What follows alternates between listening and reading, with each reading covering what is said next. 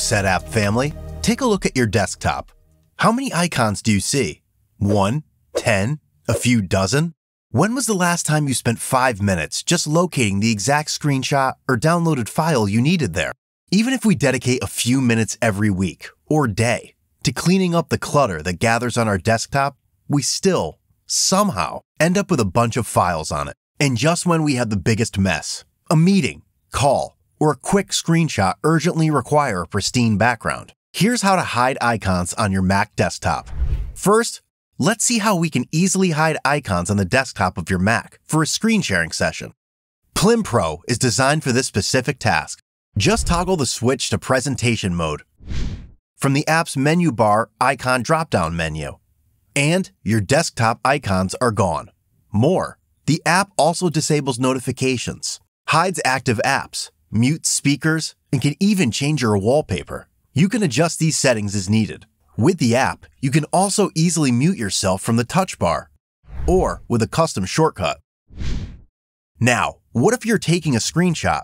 Use CleanShot X. Not only does the app have extensive screenshotting functionality, scrolling screenshots, self-time screenshots, text capture, and much more, the app also has a quick hide desktop icons menu option in its menu bar drop-down menu.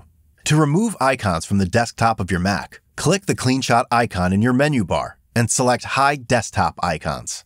To revert your Mac OS action to hide desktop icons, click Show Desktop Icons. If you want a one-stop controller for your Mac OS, not just to hide desktop icons, but quickly switch between other Mac settings, like turning on dark mode or a screensaver, hide dock or mute your mic, one switch is what you need. Here's how to hide desktop icons on Mac with the app. Click the menu bar for one switch and toggle the switch next to hide desktop icons. If you are taking a screenshot or sharing your screen, hiding your dock can also be handy. Add the switch by clicking Customize and then checking the box next to Hide Dock. Now your screen is ready for the spotlight.